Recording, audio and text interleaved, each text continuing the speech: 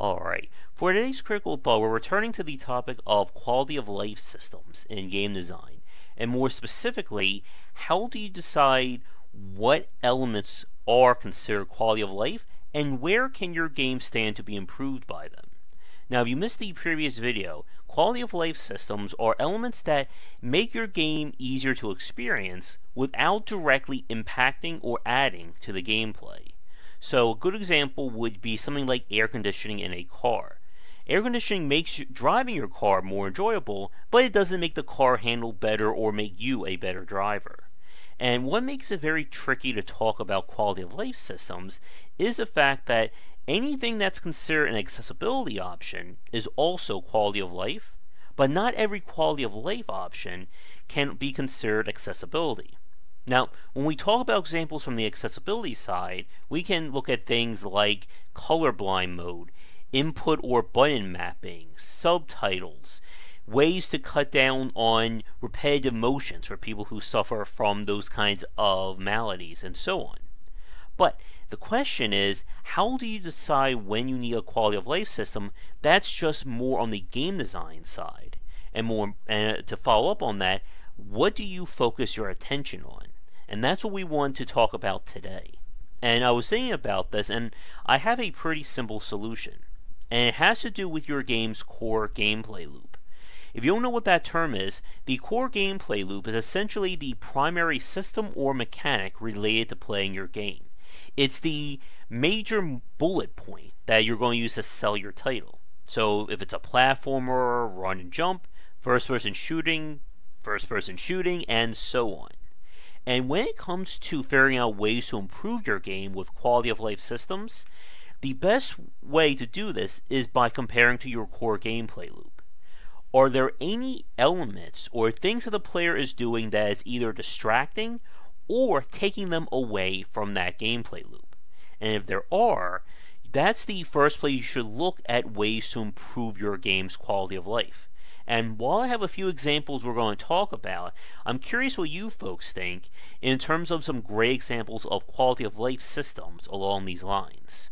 But the ones that I like to think about come from the ARPG side. When we talk about the ARPG genre, we've talked about the three core loops.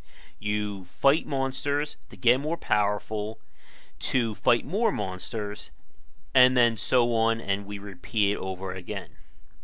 And when it comes to that idea of fight, collect, and grow more powerful, anything that gets in the way or stops you from playing could be or is an example of distracting from the core gameplay loop.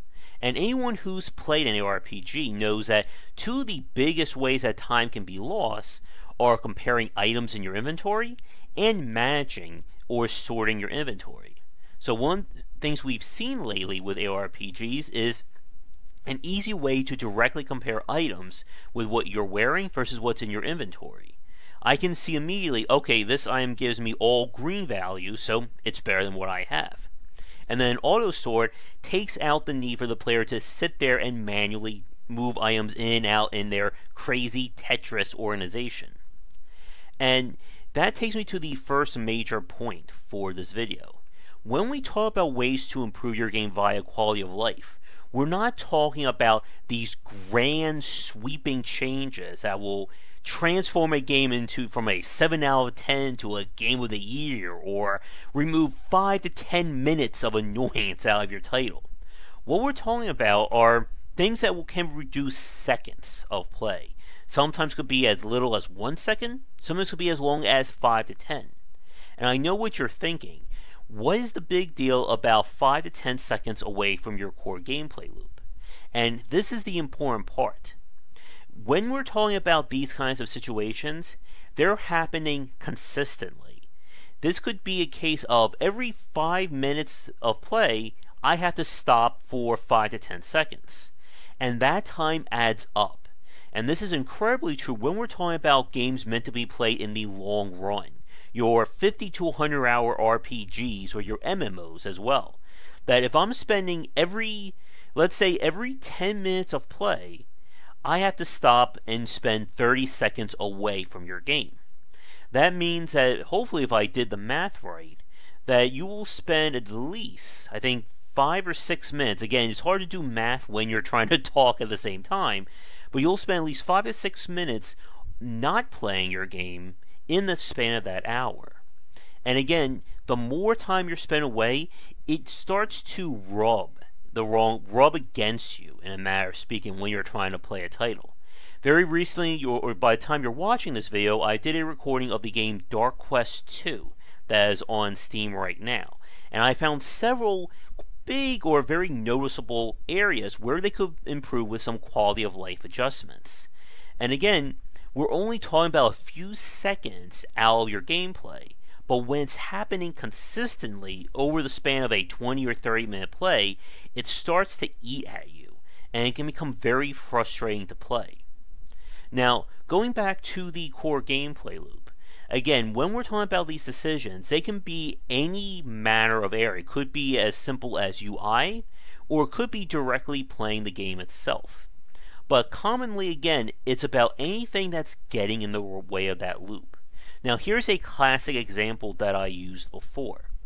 That imagine if we're playing an action adventure game, and in order to open up a door, I need to go to my inventory, go to my keys, select the key, hit the confirmation prompt, click on use, put my mouse over the door, click on the key, click on open, click on another confirmation prompt, then I have to click on the doorknob click open the door, and then click yet another confirmation prompt.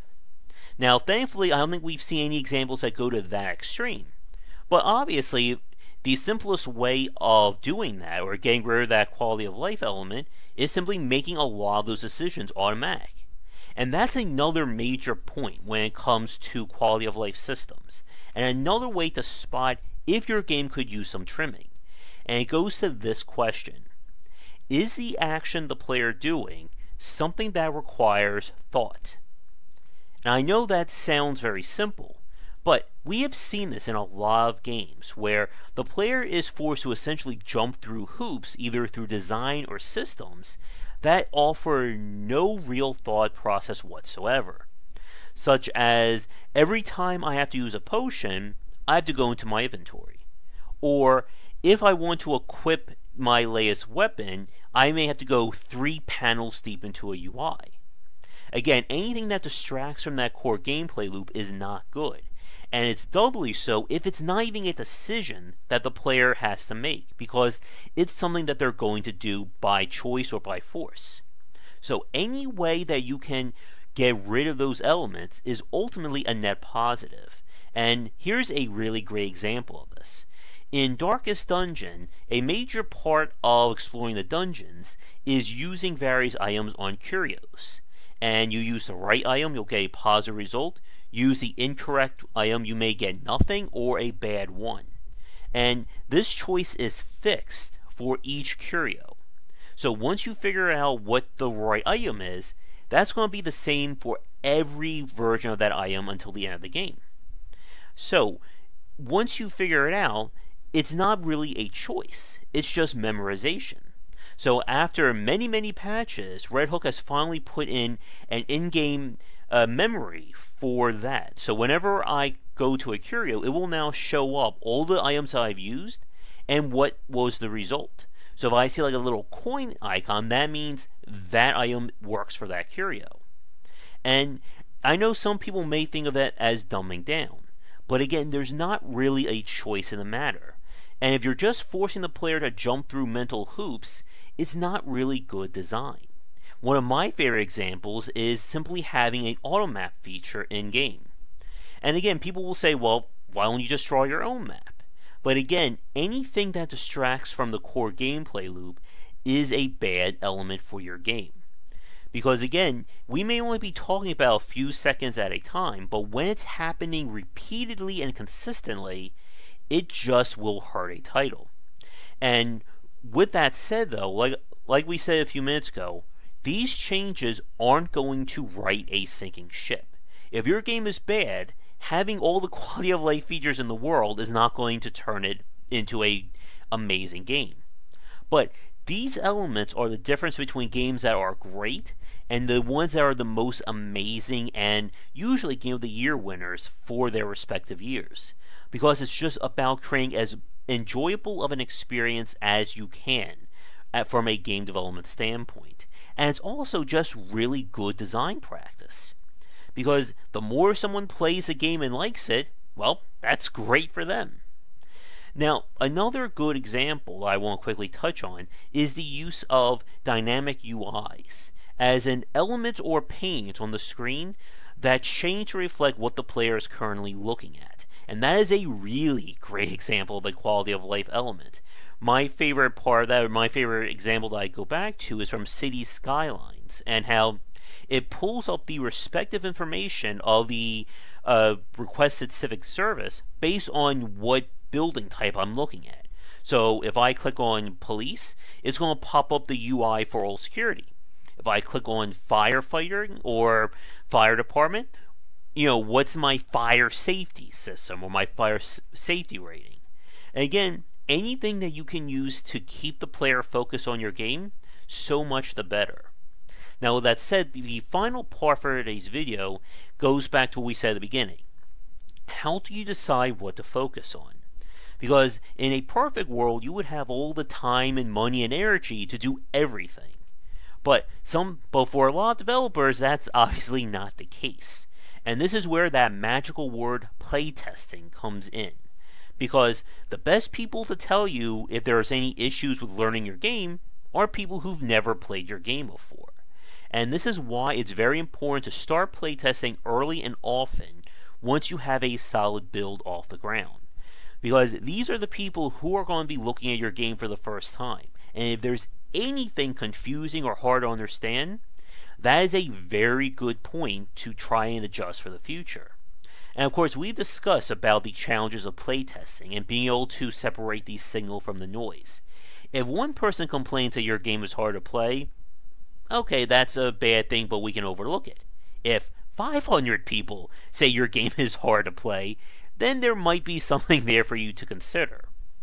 And when it comes to this, it's always important to get feedback from your consumers. Now, with that said, though, if your community or you yourself are split on various quality of life features, then offer multiple options in game. Now, with that said, though, one final and very important consideration just because you have these features in the options menu doesn't basically absolve you of mentioning it. Because I've seen this from many indie developers. When I'm talking about having trouble with the game or I'm not understanding something, and they'll say, oh, it's in the in game options. But you never told me there was something in the in game options. And that's another major lesson. Oh, jeez, my phone just decided to go crazy like that. But we're still going, folks. Just because you have the feature in the options doesn't mean someone's going to necessarily look at it. Just like with the manual, you can't expect people to look outside of actually playing your game for this information. And this goes back to the playtesting that we just mentioned. If people are having trouble with a certain element or the fan base is split, maybe have an in-game prompt or tooltip to let people know that, hey, do you are you having trouble with this or do you prefer so and so? Well, check the options. It could be there. But again, if you're doing your job right from a playtesting and design standpoint, a lot of these issues should be corrected before the game is even in the retail or the store space. You don't want to have to be adding quality of life uh, systems in post release. This is stuff that should have been caught in playtesting or on early access for those developers who go that route. So, with that said, thank you so much for watching today's Critical Thought. If you're new, be sure to like and subscribe to the channel. Let me know if you have any suggestions for future vlog topics. But otherwise, check back for daily discussions on game design here and on Game Wisdom, where we examine the art science of games. Thank you so much for watching this video. If you enjoyed it, be sure to like and subscribe to the channel. Check back around 10 Eastern for regular streaming.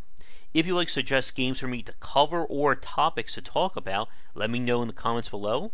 For a collection of my writings as well as weekly podcasts on design, check out game-wisdom.com. To support the Game Wisdom Patreon, you can find us on there on patreon.com slash gwbycer. A dollar will get you into our private Discord channel where we talk game topics and more.